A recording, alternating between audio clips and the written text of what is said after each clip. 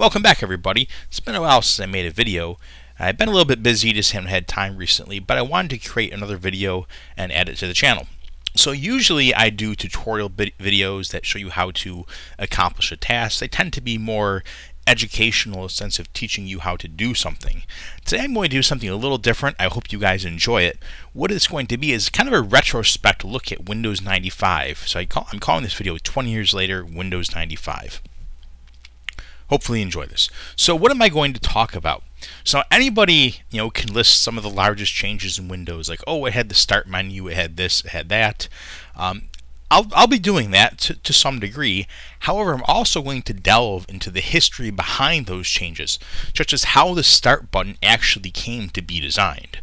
Um, I also discuss some of the changes to the general computing landscape and success and challenges of technology um, that Windows 95 encountered due to its era and what was happening in the industry at that point.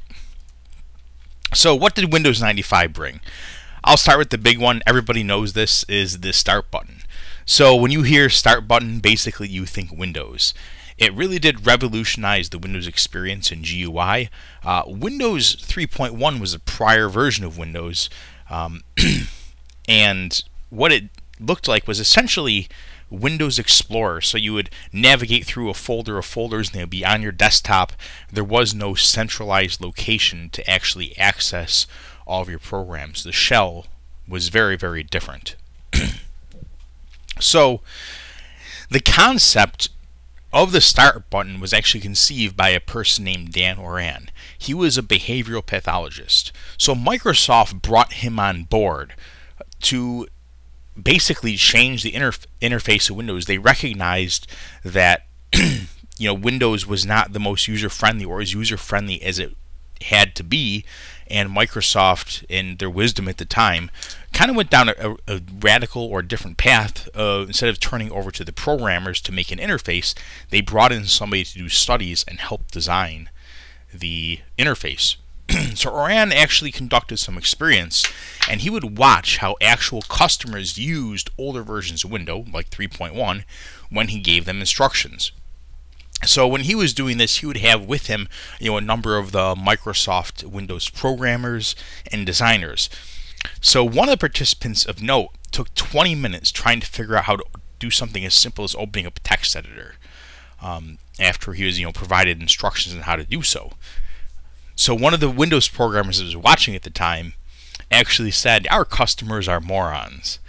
So after so then after after they talked to the user that was having that difficulty opening that text editor, they actually discovered he was a propulsion engineer for Boeing. So quite literally, Windows was too hard for a rocket scientist to use. So there had to be a better way. So the concept that came to his mind was a single button that led to everything. So it's kind of funny that the button originally was actually called System. Uh, in the one of the trial versions or interfaces for Windows 95 that was coming up, so the users they refused to touch the button, the, the system button. They were scared of it because it was a system button.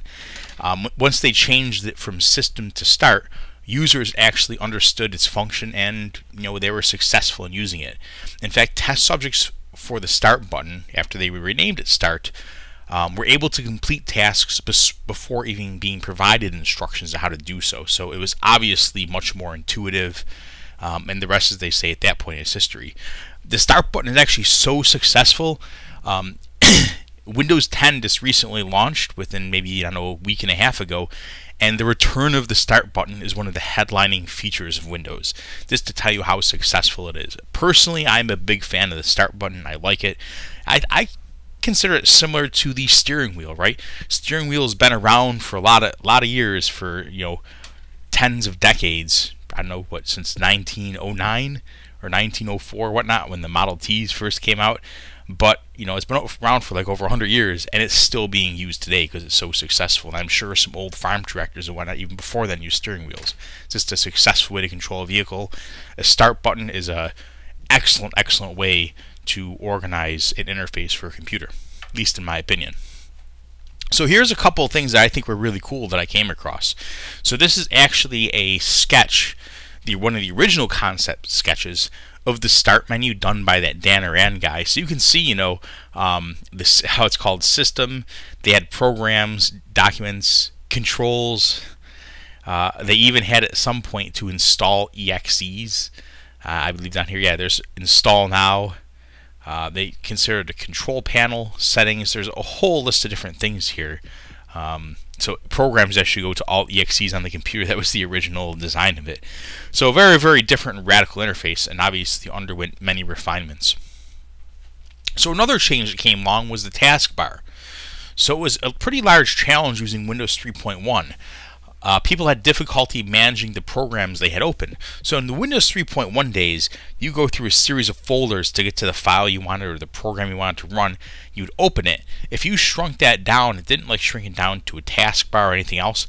It just stuck it on the desktop, which is likely behind like you know half a dozen windows at this point, difficult to find, and people would eventually just open up another copy of the same program and they would run out of memory. Um, it just wasn't ultra stable. It was just a, also a very inefficient way of doing things. Um, so this the taskbar was actually designed by Dan Oran as well. So he came up with an idea of a tabbed interface to list running programs. So the original tabbed interface he came up with, however, it was too large. So most monitors at the time, if you can believe it, were 640 by 480 resolution. Um, they they were CRT screens, dinky things like 13, 14 inches. Uh, you know, if you're just using computers today or, you haven't ever experienced that, you're really not missing a whole bunch because it wasn't that great, but it was great at the time. Um, so, in fact, later on in this presentation, I'm going to pull up a, a, version of Windows 95 I have installed on a VM, and you actually I have it set to 640 by 480 resolution, so you get to see really how little this thing really was. Um, so the tabbed interface that was too large because of the original design on a small screen, he shrunk it down to to smaller tabbed interface was shrunk down to some smaller buttons, which is how the taskbar came about. So the taskbar and start button they were merged on the edge of the screen for convenience.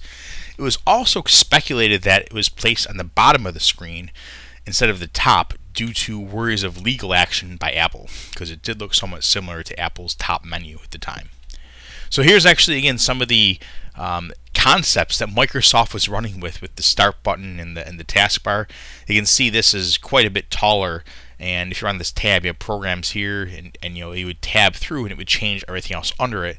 Um, you're wasting a bunch of real estate and again see how much doesn't look that much smaller here, but believe me, um, at the time, you know, every pixel mattered because you didn't have uh, quite the desktop real estate you have nowadays. Uh, and here you can see the famous system button as they were coming up to make. Um, it looks like they, they, what they also did at that point was added on the clock some little icons for things like printer statuses, battery status, and they made uh, the icons on the taskbar programs that are running uh, they made the icons a little bit easier to identify versus little small nicky pictures.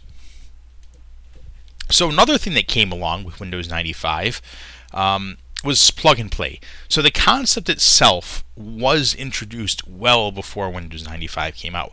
However, Windows 95 successfully made it mainstream, right? So prior to auto configuration of hardware, users had to set what were called dip switches.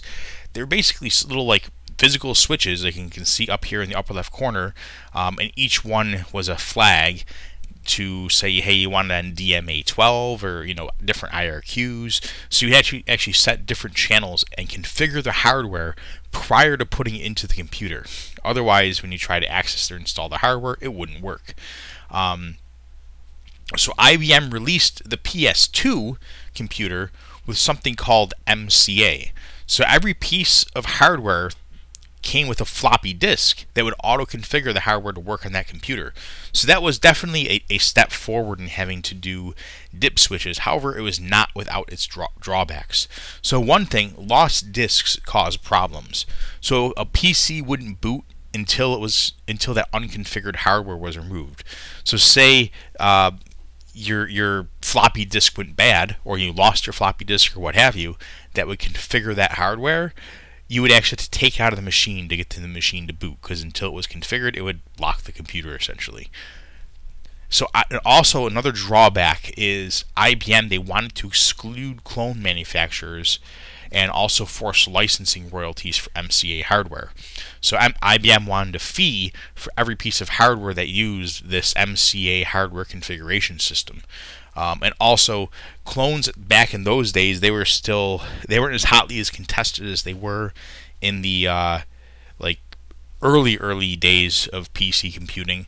Um, but IBM was putting a war against the clones, almost like if you made Apple compatible computers now, uh, you would have some issues with Apple going after you uh, uh, for legal grounds.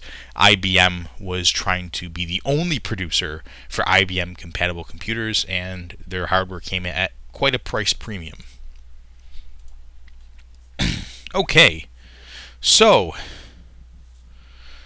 Windows 95 also tried to fully automate device configuration and it would use manual settings if necessary.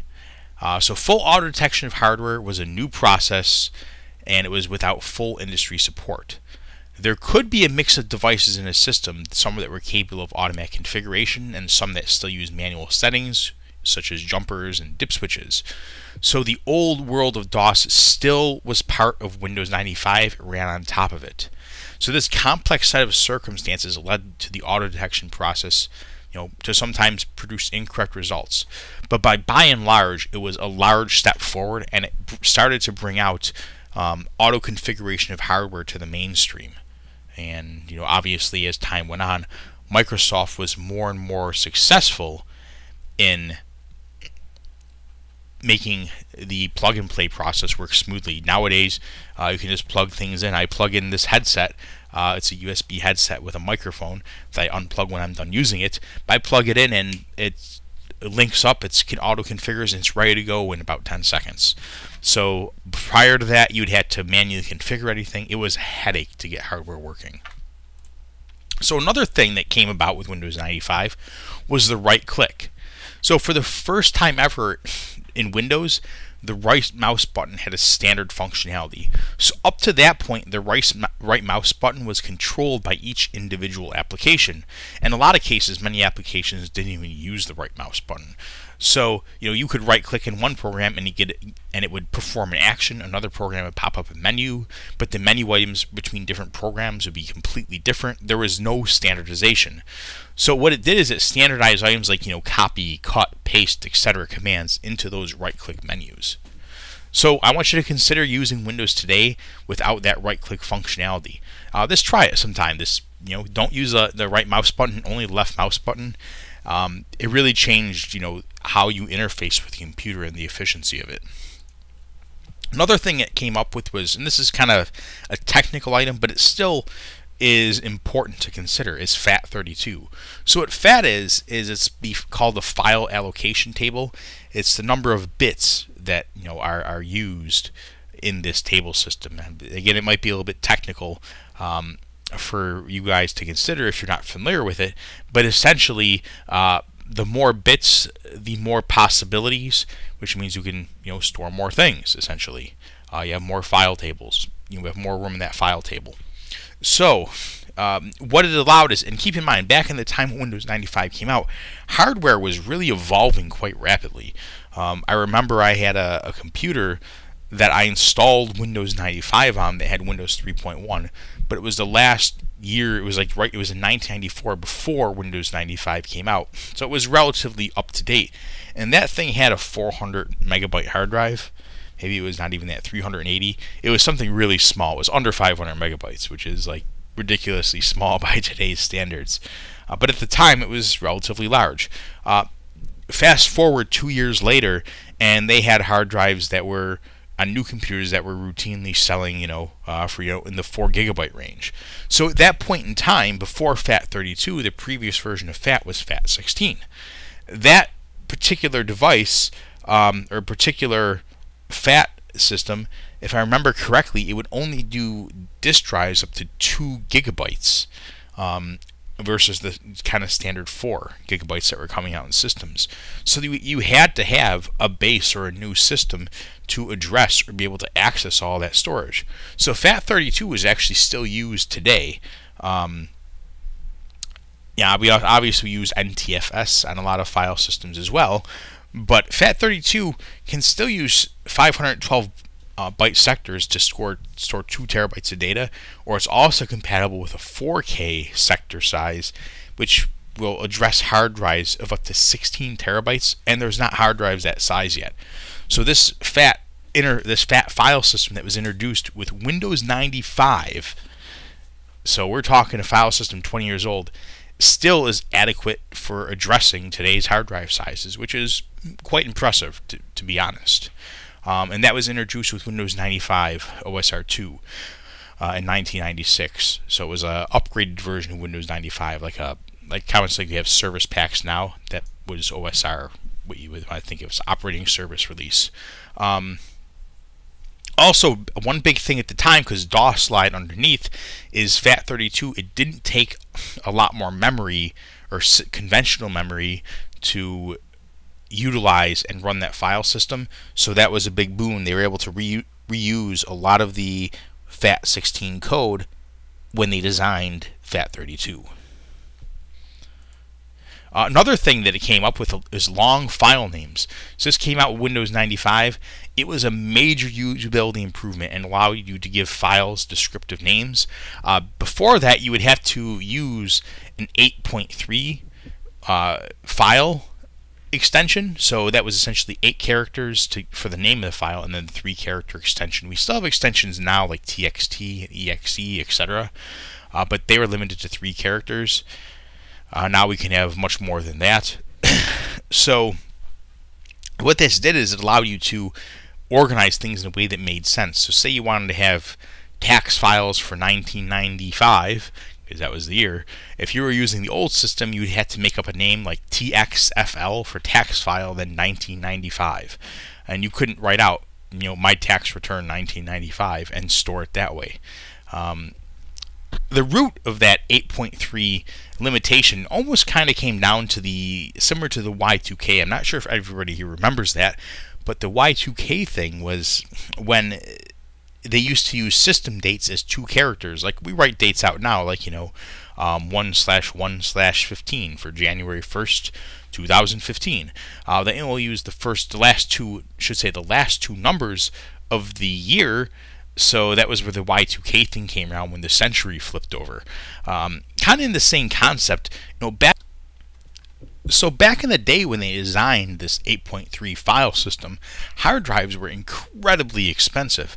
I remember seeing advertisements for you know uh, a 20 or 100 megabyte, actually around 120 megabyte hard disk, and they were it was like over a thousand dollars for a hard disk.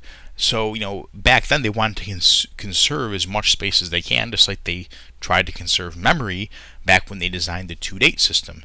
So obviously with, you know, as we talked about earlier, with hard drive sizes increasing so rapidly at that point in time, we now had the, the room to use to allow file names to be more descriptive, and Microsoft brought that out with Windows 95. Another thing that came out um, during with Windows 95 is built-in TCP/IP protocols. So prior to Windows 95, TCP/IP protocols were not actually included with Windows. So what is the TCP/IP protocol I'm talking about? Basically, that's what you use to get on the internet. So, you know, back in those days, your computers did not have by standard internet access. You could not connect them online. Um, so third-party implementations of TCP/IP came out. They had to be installed. Uh, the most common was something called Trumpet WinSock. Um, I believe it was produced by a guy named Peter Tang, or I, I forget the guy's name exactly offhand, but he made a, a program that was shareware that was shared that you could install on your computer as a TCP/IP protocol. This particular version you're seeing here is actually the the Windows 3.1 version. Yes, I did use that at one point. Um, Internet and Windows 3.1 um, was pretty atrocious, but again, at the time, it was pretty incredible. But by today's standards, I don't know how you could use that. Um, so the built-in dial-up support of TCP/IP uh, made it easier to access and get online in Windows 95. And later versions of Windows 95 also came with uh, Microsoft Internet Explorer. As much as we hate it now, and it's outdated and was recently replaced with Microsoft Edge. Um, at the time, uh, you know, it was actually an okay browser. In fact, Windows up until that point didn't even have a web browser built in. So you'd actually have to buy a web browser at a store. Netscape Navigator was one of the big ones, and install it into your computer before you could even have a web browser to go online. So Trumpet, uh, when you worked with it, you make scripts and they were kind of like using AT commands you'd issue to a modem via hyperterminal. Um, it was a really complex process um, at the time, and Windows 95 changed that by making it much easier for you to get online. So, as mentioned, we talked about online a little bit, of course. Uh, it really did, Windows 95 did coincide with the beginning of the rise in popularity of the internet. So obviously there was like AOL for Windows 3.1, and you can kind of see that coming up from you know uh, kind of like around the 1992 range and forward. But if you look here at the beginning of um, 1995, you know roughly 10% of the people had internet access.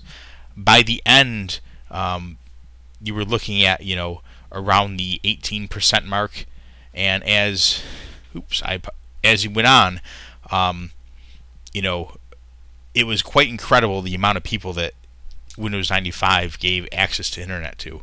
Uh, in fact, if you look, I mean, it was just an up, big uphill swing.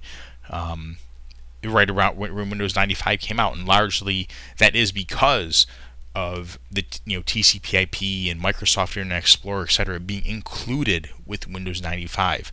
It also comes down to partially as well, because uh, there's a number of factors. Realistically, uh, more ISPs were available.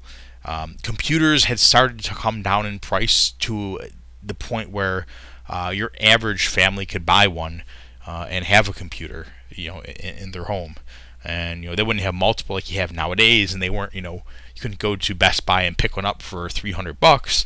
Um, you know they were still in the thousand dollar plus range for a computer, but you know that was it was within the reach of a family, um, which also of course increased that.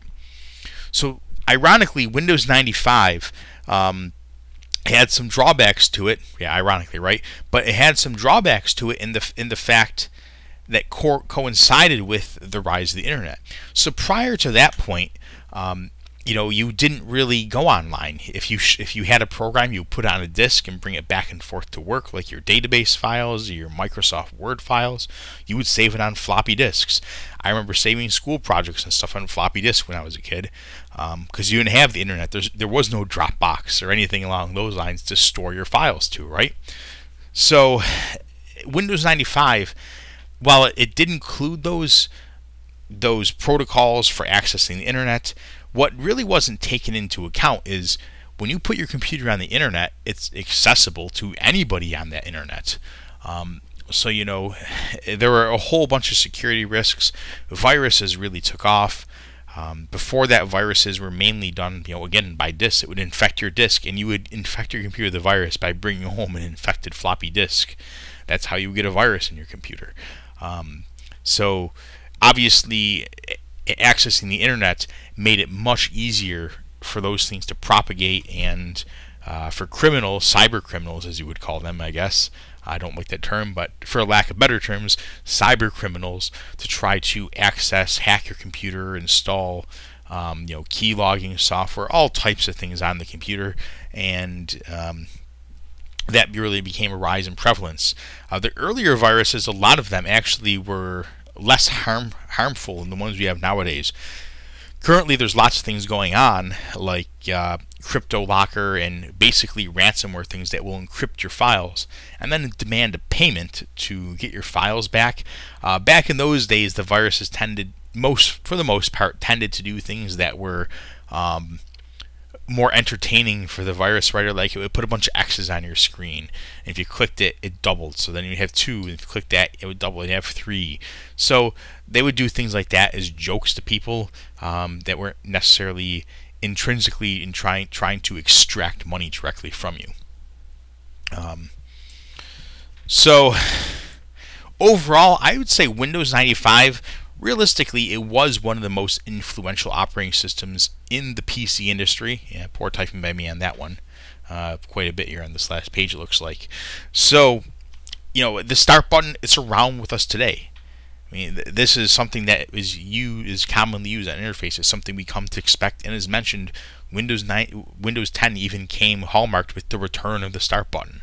Um, but it also made great leaps to make things more accessible, adding usability features that really enhanced the user experience. It was more of a revolutionary OS than an evolutionary operating system. So um, it you know it include those core components to increase ease of internet usage and getting online, making it more easy for the average person to go online, and it also introduced some core graphics user interface changes, you know that are still with us today. So what we're going to do here is I'm going to hop over to a VM and we're going to toy around with Windows 95 just for a little bit. Alright, so I got my Windows 95 VM. We're going to boot it up here. Get Windows 95 going. Yeah, remind me later. So this was actually how big a 640 screen was. As you can see, it's about uh, a third of the width and maybe one and a half times as high. Um, so the average computer has, you know, approximately six times the desktop real estate or more. Um, that's for a single screen computer. So it really kind of shows you how little um, or how little real estate there was on the average screen. There were six 800 by 600s. They were around then too, but they were more expensive, and a lot of people did not have access to those at the time. So, and back in those days, you you buy a computer with the monitor and everything all at one, you know. So, this is what you would be greeted with, and largely, you know, it does look kind of like the Windows 7 overall layout in the bottom right hand corner, you still have the clock uh, with system utilities, etc. Um, the start button in the left, and desktop icons. So of the My Computer icon, you can right click and go to Properties to show the uh, the system the system settings, right? Um, how much memory they would have, and so forth. Um, again, the nice Windows 95 logo. I did actually install Netscape on here. We're going to try to go online and see if it works. Um, I also have Win. So I've got this connected to my network. It actually has an IP address. Everything should be up and running. I installed network card drivers. Um, so kind of look at it. it. What did it include? So it included things like you know, um, Internet Explorer, right, to go online, hit Internet, um, an MS DOS prompt because hey, it actually still was uh, MS DOS underneath. The Windows Explorer, which we use today, still it's a, it's received number of facelifts, but by by and large, a lot of this stuff is you know very similar in layout and general appearance. If you were familiar with Windows 95, um, you could probably pick up a Windows 7 computer and hop on it and you know use it within very minimal amount of uh, training or or fumbling through to access things and get it working right. So let's take a look. Netscape Navigator on uh, next point next Netscape 6.2 is the last version of Netscape to access or be installable on Windows 95. And hey, what do you know? Google came up. So let's maybe do something like news. So resolving host news. Ah, back in the day, they actually did not have um, search in the uh, the the bar up here. You actually have to manually type things out. Let's go back to Google. Type in news in the search bar in new news. There we go. Try that again. So yeah, it looks like for the most part, it's uh, browsing the internet and going going through on online just fine. Um, but realistically, this was the beginning of the modern computing that we have today. You know, this is uh, the start of that um, in terms of this modern desktop interface that you get. Is Fox News going to load up? Even though I don't like Fox News that much, but isn't going to load up. It certainly looks like it's going to load up. Uh, obviously, you can't really see much because uh, this browser is really, really old. I think Netscape 6 probably came out in like 2003 or something like that. Am I right? Uh, let's see, 2001. So yeah, so Netscape 6 is really, really old. Uh, but that being said, it seems to work okay. Uh, all right, so that sums up pretty much my cover coverage of Windows 95. But I do want to hear from you guys. So, what do you guys think about Windows 95? What were your experiences using it? Do you remember using it? And do you have any different opinions on any of the features that I do? I, would love to hear your guys' uh, thoughts. Uh, again, thanks for watching. I hope you enjoyed the video. And until next time, you have a great day.